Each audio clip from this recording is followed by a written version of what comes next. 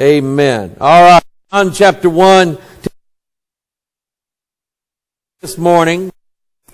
And we're going to read the Word of God uh, together. We're going to read uh, verses 1 through 14.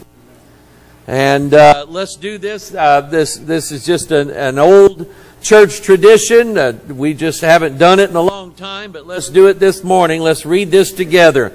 In the beginning was the Word, and the Word was with God, and the Word was God. The same was in the beginning with God. All things were made by Him, and without Him was not anything made that was made.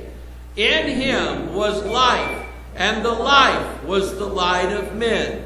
And the light shineth in darkness, and the darkness comprehended it not. There was a man sent from John, or sent from God, whose name was John. The same came for a witness, to bear witness of the light, that all men through him might believe. He was not that light, but was sent to bear witness of that light. That was the true light, which lighteth every man that cometh into the world. He was in the world, and the world was made by him, and the world knew him not. He came unto his own, and his own received him not. But as many as received him, to them gave he power to become the sons of God, even to them that believe on his name, which were born not of blood, nor of the will of the flesh, nor of the will of man, but of God. Last verse here. And the Word was made flesh and dwelt among us, and we beheld his glory, the glory as of the only begotten of the Father, full of grace and truth. Our Father in heaven, we come before you today. Father, I could stop right now, and the power of what we've just read this morning could be in our lives and shine forth and, and bring forth glory into our people would say, man, what is going, what is, what is the matter with you? You're shining. You've got light about you. We could say to them, it's because we know who the Word is. We know who Jesus is. We know who our Creator is. We know who the Maker of all mankind is. We know who came into this world but the world doesn't believe in him. We know who came to the Jews to be a Jew, live as a Jew, but his own believed him not. They didn't understand him. But Father, we thank you that that word was made flesh and dwelt among us.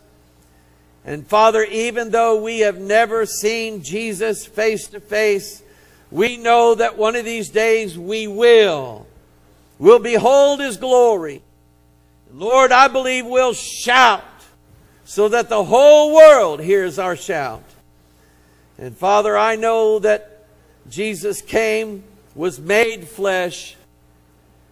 And if I was the only person in the world that sinned, Christ would have came to this world, born of a virgin. The Word became flesh, dwelt among us, so that he could die just for my sins. Jesus, I thank you for being my God, my Savior, the one who is there with me when I'm not doing so well, the one who goes before me, the one who goes behind me, the one who promised to never leave me nor forsake me. Jesus, we give you all the praise and all the glory. And we pray this in your blessed holy name. And all of God's people said, Amen. You may be seated. Now over to Luke chapter 2. What we call the nativity story. Luke chapter 2, verse 1. And it came to pass in those days that there went out a decree from Caesar Augustus that all the world should be taxed. Uh, this taxing probably had a lot to do with number one, how many subjects are in the Roman Empire. They wanted they wanted a number. And number two, they wanted that number to pay up. For every citizen, there was going to be a payment just for being under the protection of Rome. Verse 2 And this taxing was first made when Cyrenius was governor of Syria. And all went to be taxed, everyone into his own city. So if, if, uh, if this taxing were to happen now, then my mother would have to go to Levy, Arkansas. And when you see the sign, it says levy. And if you ask somebody, where's levy at? They'll laugh at you. And you say, it's Levy. Levy, Arkansas. And if they were to call me to my birthplace, I'd have to go to Jefferson Memorial Hospital in Jefferson County, Arkansas. There was a Jefferson County, Arkansas, a Jefferson Memorial Hospital in Pine Bluff, Arkansas. Can you believe that? I'd have to go back to Pine Bluff, Arkansas. You would have to go back to the place of your nativity. But anyway, all went to be taxed, everyone into his own city. Verse 4 And Joseph also went up from Galilee out of the city of Nazareth into Judea unto the city of David, which is called Bethlehem because he was of the house and lineage of David. Isn't that something? House and lineage of David, just like the prophets foretold. He was going to be the son of David, the son of Abraham, the son of Isaac, the son of Jacob, the son of David, the son of man, and the son of God. To be taxed with Mary, his espoused wife, being great with child. And so it was that while they, the ladies, those of you who have carried a child up until the ninth month, how would you like to be riding side saddle of an old donkey? Not something you'd look forward to. Verse 6 And so it was that while they were there, the days were accomplished that she should be delivered. And she brought forth her firstborn son and wrapped him in swaddling clothes and laid him in a manger because there was no room for them in the inn. There were in the same country shepherds abiding in the field, keeping watch over their flock by night. And lo, the angel of the Lord came upon them, and the glory of the Lord shone round about them, and they were sore afraid. And the angel said unto them, Fear not. For behold, I bring you good tidings of great joy, which shall be to all white people. Is that what that says? To all Jews. No. All people. Every race. Every color. Every ethnicity. He was, he came to be the Savior of everybody who calls upon the name of the Lord. Somebody say amen. Shall be to all people. By the way, I bring you good tidings. That's what the word gospel means. Good tidings of great joy, which shall be to all people. For unto you is born this day in the city of David a Savior, which is Christ the Lord. And this shall be a sign unto you. Ye shall find the babe wrapped in swaddling clothes, lying in a manger. And suddenly there was with the angel a multitude of the heavenly host, praising God and saying, Glory to God in the highest, and on earth peace, goodwill toward men, to uh, our Catholic friends.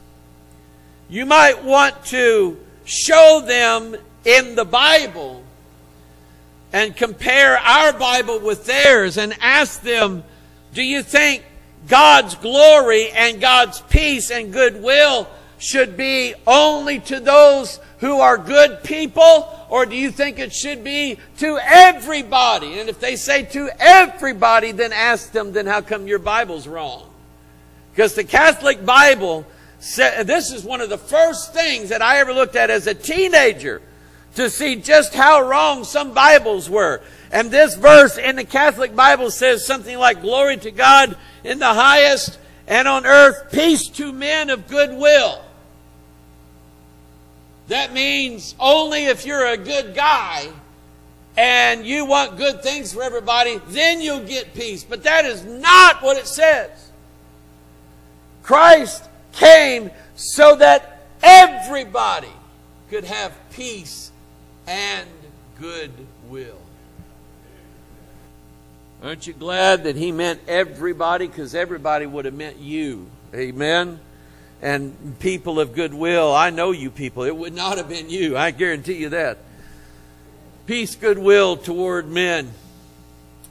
And it came to pass as the angels were gone away from them into heaven, the shepherds said one to another, Let us go now, let us now go even unto Bethlehem and see this thing which is come to pass, which the Lord hath made known unto us. And they came with haste and found Mary and Joseph and the babe lying in a manger. And when they had seen it, they made known abroad the saying which was told them concerning this child. And all they that heard it wondered at those things which were told them by the shepherds. But Mary kept all these things and pondered them in her heart. And the shepherds returned, glorifying and praising God for all the things that they had heard and seen as it was told unto them. And when those are the first evangelists, the first soul winners, the first people to go out with the message that Christ the King has been born. Uh, verse, um, let's see here. Mary kept all these things, pondered them in her heart, and the shepherds returned, glorifying and praising God for all the things that they had heard and seen as it was told unto them. And let me hear everybody say amen to that. You believe that. Amen. And listen, that, that passage of scripture said absolutely nothing about Frosty the Snowman or here comes Santa Claus, here comes Santa Claus or right or Rudolph the, the nosy red Oh, red nose. Nosy, I thought it was nosy red reindeer. No, it didn't say anything about that at all. That's not, that is not what this is about. But as the world goes, that's, that's what everybody's turned it into. They've turned it into a marketing thing. They've turned it into a money thing. You'll hear on the news every year, every year you'll hear a financial report of all the stores across America, and they're always saying, well, you know, this Christmas season wasn't a good season for all the store outlets. That, and I'll tell you this, most stores base a certain percentage of their income on what they think they're going to get during the Christmas season. To them, it is, that's why they started putting Christmas stuff out at 4th of July. Hurry up now, get it out there so we can start selling stuff already. To me, that's it's almost laughable, but it's not funny. But here they've made it into a merchandising thing. And what did Jesus say? My house shall be a house of prayer to all people, but you have turned it into a den of thieves. In Isaiah chapter 55, he said, Why in the world would you buy something that doesn't cost anything? I'm paraphrasing that, but why would you do that? Why, why would you, and I'm going to say this to you. Why would you willingly receive a gift from a family member or a friend or a boss, but not receive the greatest gift of all from God. Why? Is it because you don't know what it is? Oh, you know what it is. It's everlasting life. It's a life where you don't have to worry now about guilt anymore. You don't have to worry about being found out anymore. You don't have to worry about uh, the consequences of your actions and whether or not you're going to go to jail or whatever it is. It, that's the life that God is promising you. And it's an absolute free gift. You'll accept, um, Yes, I'm trying to think of some of the stupid things I bought Lisa for Christmas. The the Ronco fingernail dryer thing. Yeah, I found out she didn't like that one. Why would you accept something like that and turn down God's free gift? That takes us to Exodus 16. Now, this is kind of following in the footsteps of the journey that we're taking from Egypt to the promised land. And after um, Exodus 14, when God wiped out all of the Egyptians, that was the point of, of last week's message was, in case you didn't catch that, is that the reason why God had you at the Red Sea, showing you the way to eternal life, and Pharaoh chasing you, God knew, but he knew he couldn't tell you because then you wouldn't have done it. But God knew that in Pharaoh chasing you into the Red Sea, that was going to be the last time you were ever, ever going to see Pharaoh again. And again, I'm going to say this if, if I could promise you, if I could absolutely promise you that the sins that you commit, that there's coming a day when you will never, ever, ever see those sins come up on you ever again if I could promise you that, would you take that? Would you accept that? The truth of it is, uh, some people would, yes. Most people will not. Most people offered the plan of salvation. Most people offered the gift of God, which is eternal life through Jesus Christ our Lord. Most people who hear that message will reject it and not accept it. So, Exodus 16. I'm going to read uh, verse 1, 2, and then you'll see verse 3 on the screen.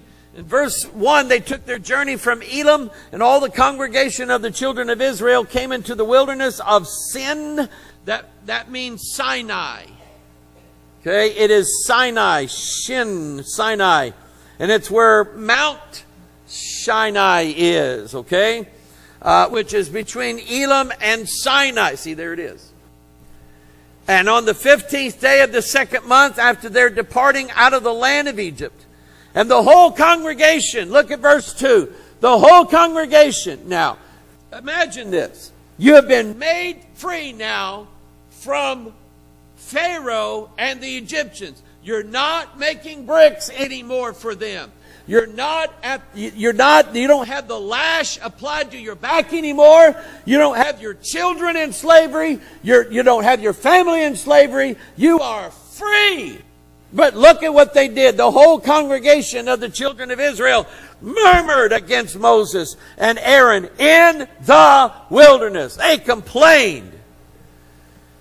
In verse 3, and the children of Israel said unto them, Would to God we had died by the hand of the Lord in, in, in the land of Egypt when we sat by flesh pots and when we did eat bread to the full. For ye have brought us forth into this wilderness to kill this whole assembly with hunger. You know, there's some people who refuse to accept God's call uh, and His offer of free salvation simply because They've heard the wrong thing about it. Someone's told them some lie about it. Or they don't know anything about it and they don't know anything about God and they're afraid and so they just simply won't do it. But then you have others. And I've seen these people throughout the course of my life come into this church. Maybe bow at the altar there for a while. Preacher talk to them for a while stand up and say, hey, so and so just gave their life to the Lord. Everybody comes, hugs them, gives them a right hand of fellowship. They get baptized. Remember what going through the Red Sea is? It's Israel being baptized. They get baptized, and then lo and behold, some bad thing happens. And I promise you, the devil will throw at you after you get saved. He'll throw at you everything he's got to get you to turn your back again against God and turn back to the devil. How many of you say amen to that? He'll turn, he'll turn, he'll try to turn you. He'll use your family against you. He'll use your friends against you. He'll, you listen, if, if it's drugs you're on, I, I guarantee you the devil will throw more drugs at you than you've ever had in your life. And he'll get you to try to turn you back. And so you're out there, you've already been washed. Now you're on the journey of life that God wants you to go and some bad thing happens and you get mad and you get full of the flesh and you think, you know what? When we was in Egypt, we sat by big pots full of meat. Just cooking, roasting lamb, roasting fowl, flesh pots. Man, we'd throw in onions and leeks and garlic in there and maybe a little cabbage in there. And boy, we'd have us a feast while we were in Egypt. And then we had bread. Oh, we had that hot buttered bread. You know how that was. See, I've heard people talk about the old days. About how when, after they supposedly got saved, they started yearning again for the flesh pots and the bread of the old life. And I can tell you that more than likely, those people are probably not going to make it very long. They're probably not going to make it very long. I know of a, a preacher, and I, I listen, I looked up to this man. Preach, boy, he could preach. Pastor, boy, he could pastor. Evangelize, boy, he was an evangelist. He was pastoring a church down in Arkansas. The men of his church went to the hotel room that he was in with his mistress. And when he answered the door, those men of his church, tears in their eyes, said, There'd be no need for you to come by the church and get all your stuff. We've boxed everything up for you. We're going to set it out in the parking lot. You just come by and get it. You're not our pastor anymore. And that woman that he was with moved up north. And there he had the opportunity to try to make things right again with his wife try to make things right again with his adult children, try to make things right again with fellow pastors and so on. But he got the longing for the flesh pot. And instead of yielding his life back over to the Lord and trying to make amends for what he did, he decided that he would rather spend the rest of his life with his mistress. So he left his wife, left his sons, left the dairy farm that he helped them farm, left his reputation, and just disappeared into the sunset with this woman. He got to longing for the flesh pots again. He's got them. He's got them. And you know what? They might make, as far as his flesh body, they might make that part of him happy. But his soul will always be warring against the Spirit of God. If God hasn't already turned him over to a reprobate mind. They said, When we sat by the flesh pots and when we did eat bread to the full, for ye have brought us forth into this wilderness to kill this whole assembly with hunger.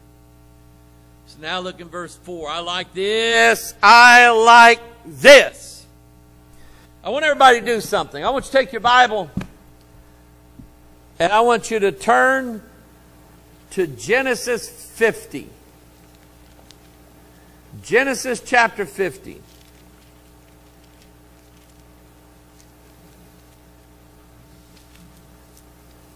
John, are you turning? All right. We lead by example. So, Genesis 50, and I want you to look over now at the next page, I guess. Does Genesis have any more than 50 chapters? No, it's just got 50, doesn't it? So, everybody say 50. Now, what chapter are we in in Exodus? Add 16 to 50. What do you get? 66. You are in the 66th chapter of the Bible. Your Bible has how many books? 66. Do you think that this chapter has anything to do with the Bible? Oh, yes, it does. In fact, look at this. Look at this. Exodus 16 Verse 4, then said, now remember, watch this now. God's people are, are murmuring. Oh, we had it good by the flesh pots.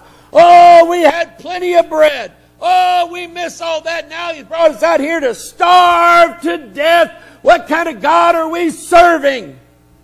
I'm here to tell you, you're serving the best God there is. Amen. There is nobody as good or better than our God. No one. So look at here. Then said the Lord unto Moses, Behold, I will rain bread. I won't do all that, but behold, I will rain bread from heaven for you. And the people shall go out and gather a certain rate every day, that I may prove them whether they will walk in my law or no. And it shall come to pass that on the sixth day they shall prepare that which they bring in, and it shall be twice as much as they gather daily. And then God stops talking. I had those words underlined because there's exactly 66 words there that God just spoke to you. Woo! What do you think the message is going to be about today? The Word of God is your bread. Amen. Amen. Now, here we are, 66th chapter. And God speaks 66 words to Israel to tell them, I've got bread that is, it's not going to come up from the ground. You're not going to find it on trees. It's not under rocks. It's not down at the bottom of the lake. It is going to come down from, my goodness, the whole Bible came down from heaven, didn't it? In fact, the very Word of God itself. In the beginning was the Word, and the Word was with God, and the Word was God, and the Word was made flesh and dwelt among us. The whole Word of God came down from heaven down here to us so that we could read it every day. The reason, listen, you want to you want to help get rid of those uh, that liquor bottle. You want to help get rid of that. Uh, oh boy, should I say this? You don't even know what I'm going to say. You can get rid of them vapes.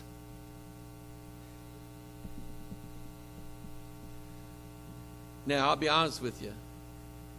I'd much rather walk into a room where someone's vaping than a room where about 15 people are smoking, sucking cigarettes.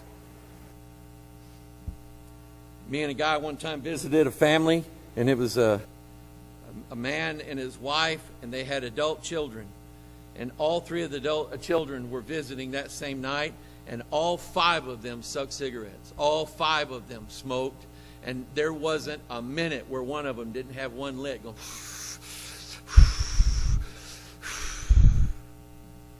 And as we walked out of that house, smoke followed with us all the way out to the car. But I want to tell you something. God can help you get rid of that junk too. Amen. Behold, I will rain bread from heaven for you, and the people shall go out and gather a certain rate every day that I may prove them whether they will walk in my law or no. You see, the proving ground of are you a Christian, the proving ground that you have been truly baptized by God and that truly you are a different person is will you go out and gather the manna? Will you go out and gather the manna? So now in verse 7, oh no, verse 6. And Moses and Aaron said unto all the children of Israel at even, then, shall, then ye shall know that the Lord hath brought you out from the land of Egypt. You see, they're still questioning, they're still doubting. God says, Now, when I do this, when you wake up tomorrow morning and there's bread laying all over the ground,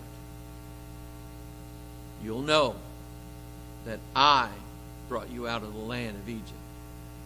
You'll know that it was me that's delivering you from alcohol, from drugs, from pornography, from fornication, adultery, uncleanness. It's me that's delivering you from all of these wicked things. When you, when you open up your Bible and you see in just about every page you read that there's bread for you in this book waiting for you. Amen. And in the morning then you shall see the glory of the Lord, for he for that he heareth your murmurings against the Lord. And what are we that ye murmur against us? And Moses said, This shall be when the Lord shall give you in the evening flesh to eat, and in the morning bread to the full, for that the Lord heareth your murmurings, which you murmur against him. And what are we? Your murmurings are not against us, but against the Lord. You know, I'd be careful I'd be careful about who you complain about your church to or about things that you're not quite sure about the Bible. I'd be real careful about that. Those things are better off if you want somebody to complain to, go complain to the Lord. God is a merciful God. God is a good God. And God can handle you murmuring. God can handle you complaining. God can handle you saying, God, I just don't understand this. God, God, help my unbelief. God, please help me. God, God will deal with that a whole lot better than for you to go around and trying to destroy Christianity, trying to destroy the faith of others, trying to tear down the church that you go to, trying to tear down brothers and sisters that love you, that are praying for you. I recommend going to God. Now, verse 27. And it came to pass that there went out some of the people on the seventh day for to gather, and they found none. now, did you know that this was before God gave them the Ten Commandments? God didn't give them the Ten Commandments verbally until uh, Exodus chapter 20, where he says, Remember the Sabbath day to keep it holy. Six days shalt thou work and do all thy labor, and seven days uh, rest unto the Lord. God was already establishing a day of rest to the Israelites before the law.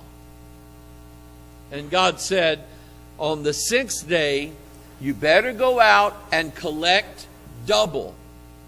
Because if you don't, you'll be sorry. There'll be no presents for you under the tree. Amen. And lo and behold, there went people out on the seventh day and they're looking. Where's the manna? Where is it? Didn't God say, hey, God's a liar? And they go in and they go to complaining, and, and, and somebody says, God's not a liar, you idiot. He told you on the sixth day you gather twice as much because on the seventh day there's not going to be any. And right there, you've got further proof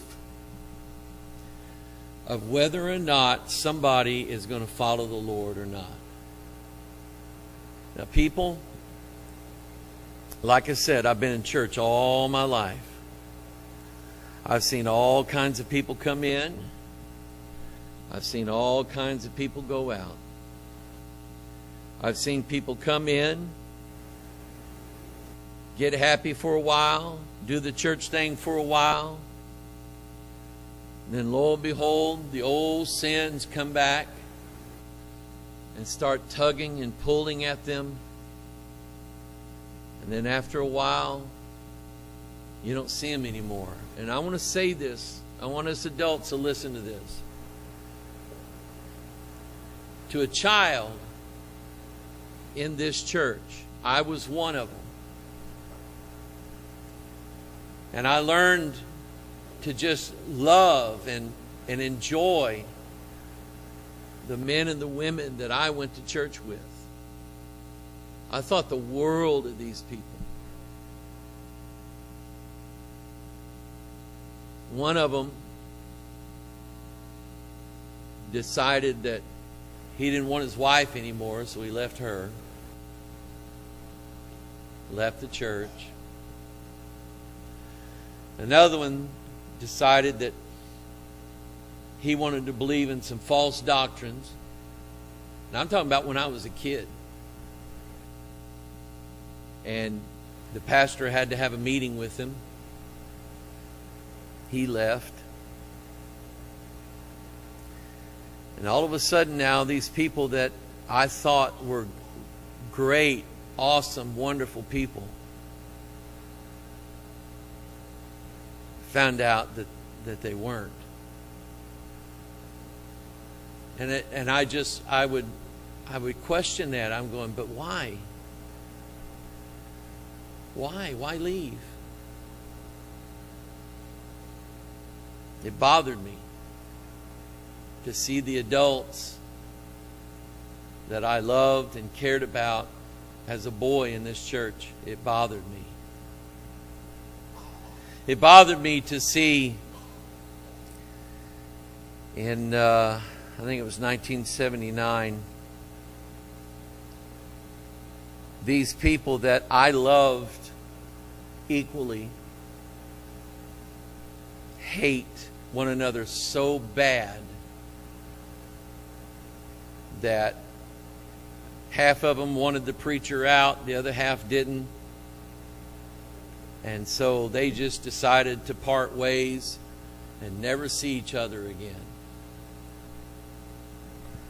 I lost adults that I thought the world of, and in fact, I had to switch schools because one of those adults that brought up false charges against the pastor was my school teacher. And I'm, that affected me as a young man, as a kid. That affected me. And I just don't like to see people that I love getting at each other, fussing with one another, mad at one another, jealous at one another. I don't think we ought to do that because we're going to ruin some kids if we're not careful. Again, amen. These kids, they're watching us. Man, they're watching us. And if all the, and if all we do is fuss and fight and and listen, I, I I think I can say right now, we ain't got none of that going on that I know of. I think we're I think God's blessed us here. Amen. And I want to I want to hang on to that. So be careful. The devil he'll know who to get and he'll know how to get them. Amen. Now, uh, look at verse um, 28. And the Lord said unto Moses, How long refuse you to keep my commandments and my laws? See, for that the Lord hath given you the Sabbath. Therefore he giveth you on the sixth day the bread of two days. In other words, there's twice as much out there. Abide ye every man in his place, and let no man go out of his place on the seventh day. So the people rested on the seventh day. And the house of Israel called the name thereof manna, and it was like coriander seed, white, and the taste of it was like wafers made with what? I bet that was sweet and good. Amen. Honey buttered biscuits waiting out there in the yard for you. No, what it was is, I don't know, some kind of little deal out there that they could take and put it in a, in a, in a mortar and take a mortar and a pestle and beat it into flour and they made cakes out of it or pies or cookies or birthday cakes or upside down cakes or whatever kind of cakes that they wanted. Amen. Biscuits and gravy if they wanted to. They could have it. They had bread. Amen. They, they rejected against that too. Then, back in John chapter 6. Mm-mm-mm. Turn there very quickly. Then said Jesus unto them, Verily, verily, I say unto you, Moses gave you not that bread from heaven, but my Father giveth you the true bread from heaven. In other words, the bread that Moses gave you sustained your flesh physical life. The bread that my Father gives you will sustain your soul for eternity. For the bread of God is he which cometh down from heaven and giveth life unto the world. He's talking about himself, isn't he? Then said they unto him, Lord, evermore give us this bread. And Jesus said unto them, I'm the bread of life. He that cometh to me shall never hunger. And he that believeth on me shall never thirst. Let's, let's read that again and everybody read that. Say that out loud with me. I am the bread of life. He that cometh to me shall never hunger, and he that believeth on me shall never thirst.